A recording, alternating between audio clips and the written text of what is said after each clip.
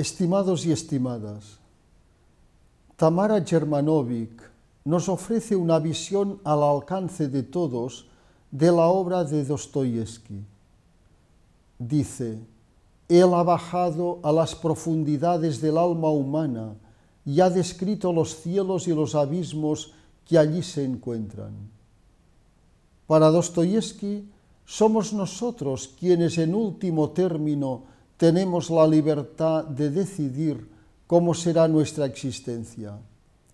Este credo hace que la vida valga la pena a pesar de sus contradicciones. Una de ellas es la irracionalidad humana.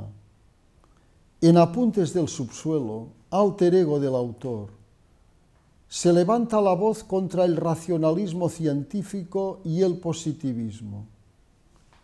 El progreso no ha creado un mundo mejor, sino justamente lo contrario, como ya había anunciado Rousseau en su discurso sobre las ciencias y las artes. Es en Los endemoniados donde Dostoyevsky retrata a los jóvenes contagiados por las nuevas ideas que se amparan bajo las banderas del socialismo, el niquilismo y el ateísmo. Dostoyevsky culpa a Occidente de haber inflamado a la juventud rusa. Nikolai Stavrogin, su protagonista, es condenado sobre todo porque ha dejado de conocer a su pueblo. Dice, perder las raíces es peor que ser occidentalista. La idea de cometer un crimen en interés de la humanidad ocupa el centro de Crimen y Castigo, para mí la mejor novela de Dostoyevsky, con la figura de Raskolnikov que defiende transgredir ciertas normas si así lo exige el bien de los demás. Dostoyevsky analiza el problema de la libertad cuando ésta se vincula a la posibilidad de ejercer el mal para conseguir el bien. La figura de Raskolnikov se complementa con la de Sonia, una gran pecadora que ha conservado la pureza de espíritu.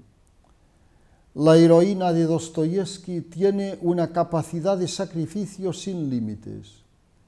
Sin ella, Raskolnikov no habría confesado su crimen, la condición necesaria para volver a la vida.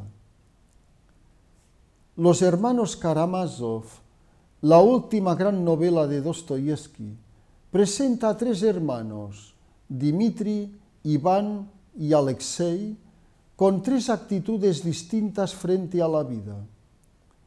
Alexei encuentra en el monasterio una salida ideal para su alma, ansiosa por elevarse hacia la luz del amor. Tiene una capacidad de amar y perdonar sin límites, como lo, manifiesta su padre. Le dice, tú eres el único que no me has condenado.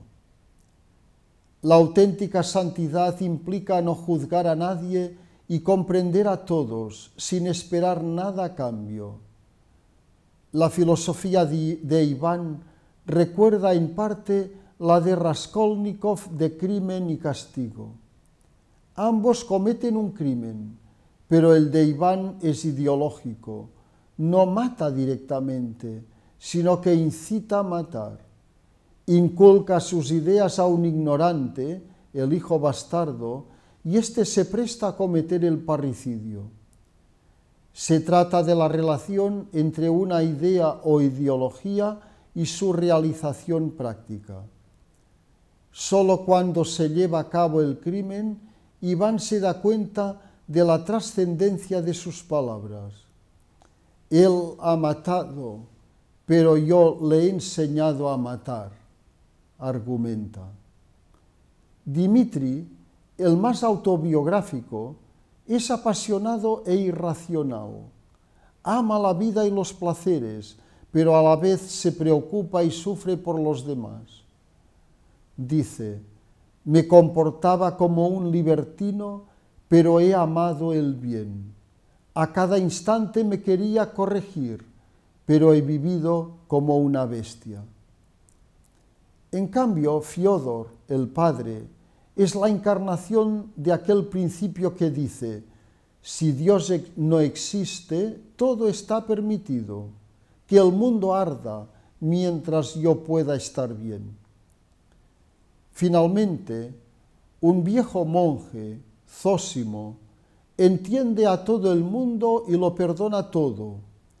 Más que propagar la fe, intenta conciliar los destinos de los demás mediante el amor como una fuerza viva que está al alcance de todos.